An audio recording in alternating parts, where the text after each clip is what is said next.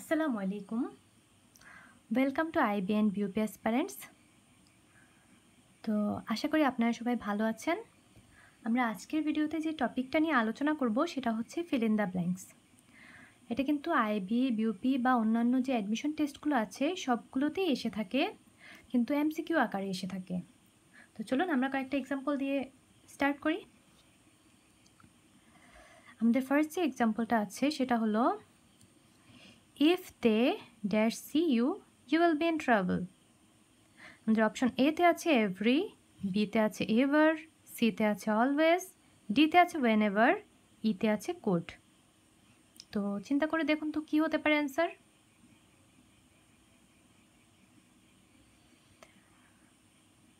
if they dash see you you will be in trouble of course option B হবে answer কেন?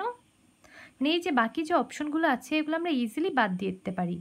কেন? কারণ বাকিগুলো দিয়ে কখনোই যায় না। এই যে if they every see you you will be in trouble R if they always see you you will be in trouble এটা কি যাচ্ছে? না, কখনোই না।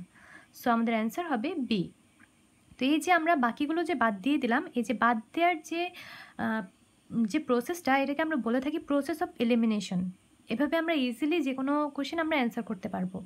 মানে অনেক সময় দেখা যায় আমাদের যে কোশ্চেনটার অ্যান্সার জানা থাকে না। তো আমরা কীভাবে অ্যান্সার করব? যে বাকি যে অপশনগুলো আছে, এগুলো দিয়ে আমরা চেক করে দেখব। যদি বাকি অপশনগুলো দিয়ে না যায়, তাহলে আমাদের যে অপশনটা বাকি থাকে, সেটাই হবে অ্যান্সার। তো এখানে আরেকটা বিষয় খেয়াল করার আছে, সেটা হচ্ছে অন্যান্য যে অ্যাডমিশন টেস্টগুলো আছে, সেগুলোতে অপশন থাকে চারটা, এখানে পাঁচটা। কেন? কারণ আইবিএতে যে কোশ্চেনগুলো হয়ে থাকে, সেগুলোতে অপশন পাঁচটা দেওয়া থাকে। যার কারণে এখানে আমি সবগুলোতেই অপশন পাঁচটা করে দিয়েছি।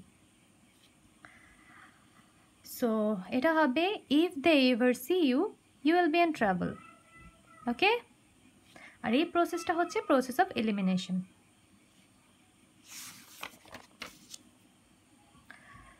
দুই নাম্বারটা, দুই নাম্বার এক্সাম্পলটা হলো when he arrived I was about to dash তো কী হবে অ্যান্সারটা I was about to left I was about to living I was about to leave I was about to be gone or I was about, I was about to was going.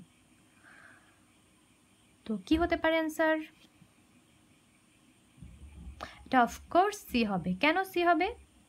কারণ আমরা জানি two plus একটা verb যখন হয়, সেটাকে হচ্ছে আমরা infinitive বলে থাকি। সো অ্যাবাউট প্লাস ইনফিনিটিভ অর্থ হলো কোনো কাজ করতে যাওয়ার মুহূর্তে। অর্থাৎ আমি চলে যাওয়ার মুহূর্তে সে আসলো। অর্থাৎ সে যখন আসলো, ঠিক তখনই আমি চলে যাচ্ছিলাম। So when he arrived, I was about to leave. Okay?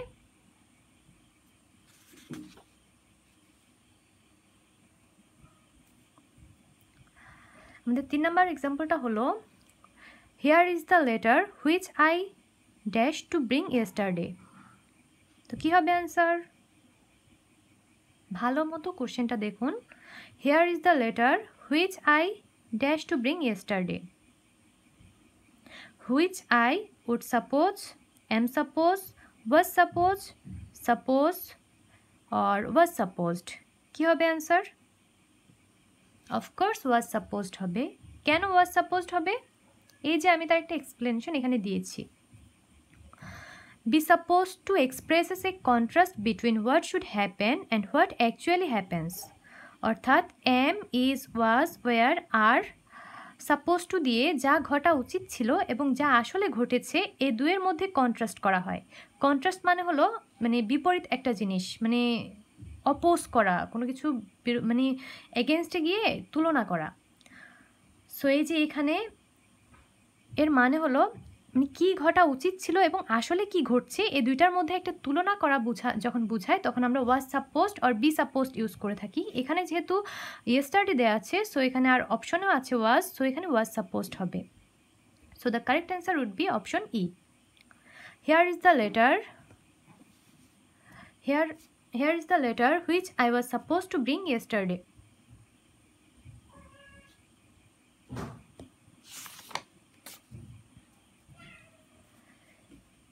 এরপরের এক্সাম্পলটা হচ্ছে do you mind to take a dash on the chair option এতে আছে সিটেড অপশন বিতে আছে সিট সিতে আছে সেট ডিতে আছে সিট ইতে e আছে নান তো কী হবে অ্যান্সার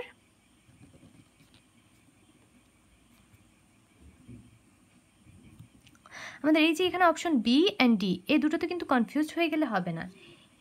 এ বি বিতে যে সিটটা আছে, এটার মানে হলো আসন গ্রহণ করা বা আসন। আর এই যে ডিতে যে সিটটা আছে, এর অর্থ হলো বসা।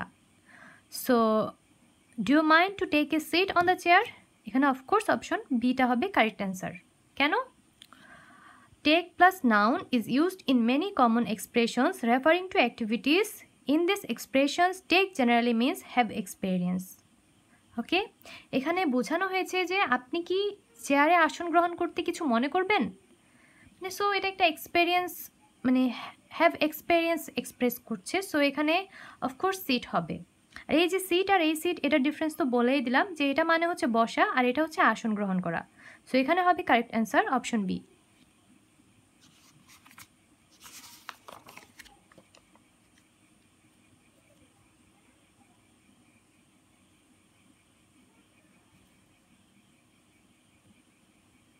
five হচ্ছে he dash at midnight option এতে আছে অ্যাওকাপ বিতে আছে অ্যাওয়াক্ট সিতে আছে অ্যাওয়াক্যান ডিতে আছে অ্যাওয়াক্যান্ড ইতে আছে ওয়েকআপ তো কি হবে answer of course option D কেন option D awakened is the best answer because এটা হচ্ছে অ্যাওয়াকেনের past form okay so he awakened at midnight he awakened at midnight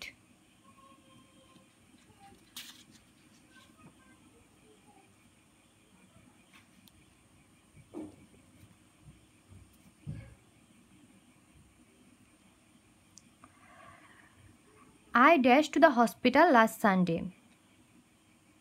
option এতে আছে হ্যাড গো বিতে আছে হ্যাভ টু গো সিতে আছে হ্যাভ বিং ডিতে আছে হ্যাভ গন ইতে আছে হ্যাড টু গো সো কী হবে অ্যান্সার একটু ভেবে দেখুন। এই যে এখানে লাস্ট সানডে আছে, তো লাস্ট সানডে থাকাতে এই সেন্টেন্সটা অফকোর্স পাস্ট ফর্ম হবে। আর হ্যাড টু হলো পাস্ট অব্লিগেশন মানে তার লাস্ট সানডেতে হসপিটালে যেতে হয়েছিল। সো এখানে অবশ্যই অ্যান্সার হবে E I had to go I had to go to the hospital last Sunday মানে আমার লাস্ট সানডেতে হসপিটালে যেতে হয়েছিল। So the correct answer would be option E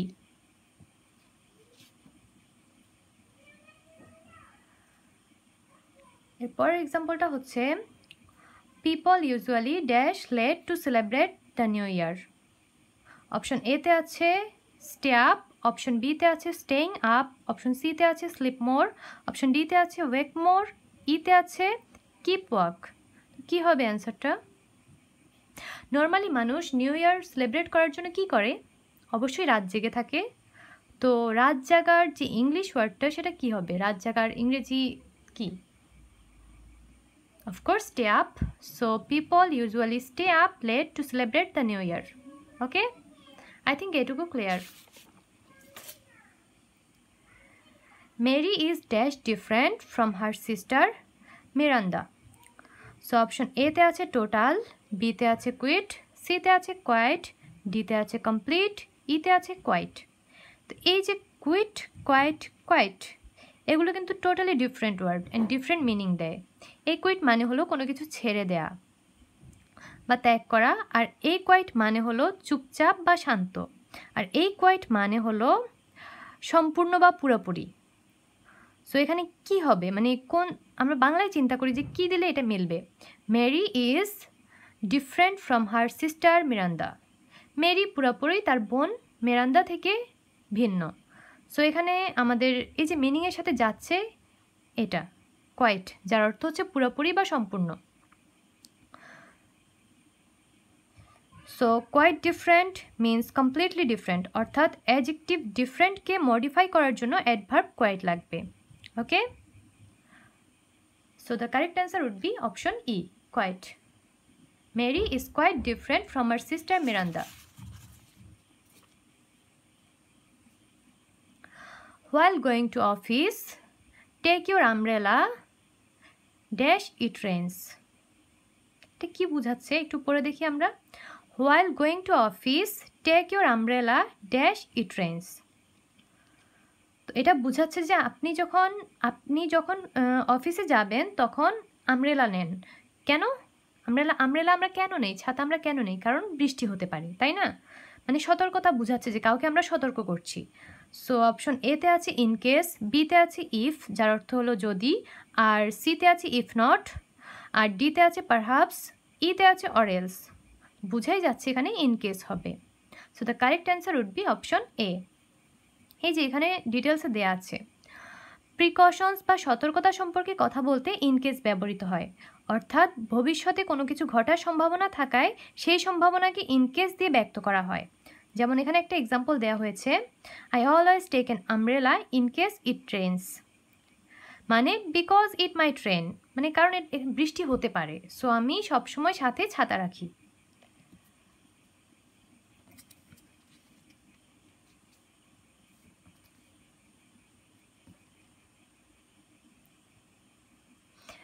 আমাদের এরপর এক্সাম্পলটা হলো that day I got up early because I dash guest of the house তো কী হতে পারে এখানে answer that day I got up early because I dash guest of the house I have invitation I had invited I have invited I got invitation or I was invited কী হবে answer কোন জিনিসটা appropriate of course option B I had invited কারণ এখানে god একটা simple past tense তাই শূন্যস্থানে টেন্সটা past perfect আকারে লিখতে হবে। আর এই যে বাকি যেগুলো আছে না, এগুলো এমনিই যাচ্ছে না, আমরা পরে পরে দেখলেই বুঝতে পারি। কিন্তু তারপরে পরে পরে দেখলে তো অনেক টাইম কনজিউমিং তাই না? সো এই এরকম টাইম কনজিউম তো আমরা করতে চাবো না। আমরা চাইব আমাদের টাইমটা কীভাবে সেভ করব? আমরা অল্প সময় কীভাবে অ্যান্সার করতে পারব সেটা আমরা ট্রাই করব। সো এখানে এই যে গট আছে, এটা খেয়াল করলে আমরা আমরা বুঝব যে এটা পাস পারফেক্ট হবে। So that day I got up early because I had invited guest of the house so the correct answer would be option B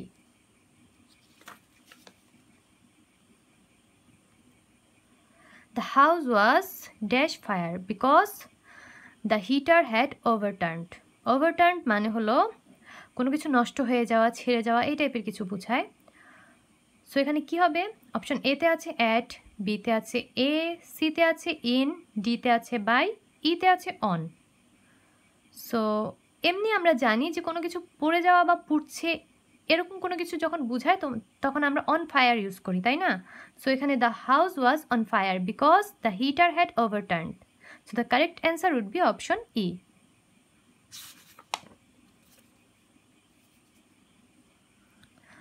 এরপরের এক্সাম্পলটা হচ্ছে my broken leg is dash me is hurting me burning me paining me in pain or অ্যাকিং এটা কী হতে পারে?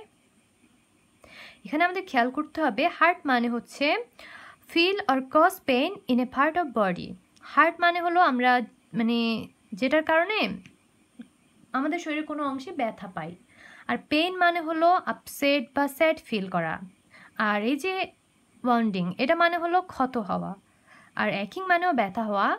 তো এখানে আমরা সবসময় খেয়াল করব যে কোন জিনিসটা সবচেয়ে বেশি মানাচ্ছে মানে কোন অপশনটা বেস্ট সেটা আমরা চুজ করব। So the correct answer would be option A my broken leg is hurting me okay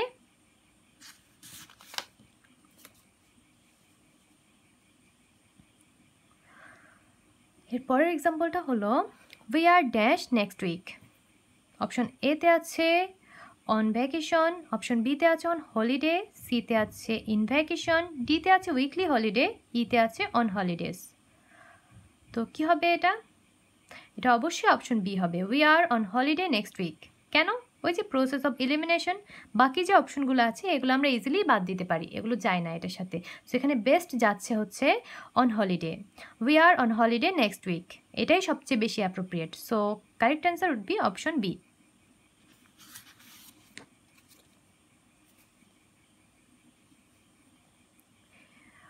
এরপরে হচ্ছে it would be pleasant if we dash where to go আরেকবার দেখি। It would be pleasant if we dash where to go option এতে আছে no বিতে আছে known সিতে আছে হ্যাড নো ডিতে আছে নিউ ইতে আছে হ্যাড নোন আমরা বাংলা একবার চিন্তা করি যে এটা কী মিনিং দিচ্ছে। মানে এটা আমাদের জন্য ভালো হবে যদি আমরা জানি আগে থেকে যে আমরা কোথায় যাব। সরি এখানে উড আছে। মানে এটা অতীতের কোনো ঘটনা বোঝাচ্ছে। এটা আমাদের জন্য ভালো হতো যদি আমরা আগে থেকে জানতাম যে আমরা কোথায় যাব বা কোথায় যাচ্ছি। সো এখানে আমাদের কারেক্ট অ্যান্সার হবে option D it would be pleasant if we knew where to go because এই যে উড উড কিন্তু পাস্ট ফর্ম উড দিয়ে কিন্তু পাস্ট বোঝাচ্ছে। সো এখানে বাকি যেগুলো আছে, এগুলো কিন্তু প্রেজেন্ট ফর্মে আছে। সো এখানে নিউ হবে। কেন নিউ হবে?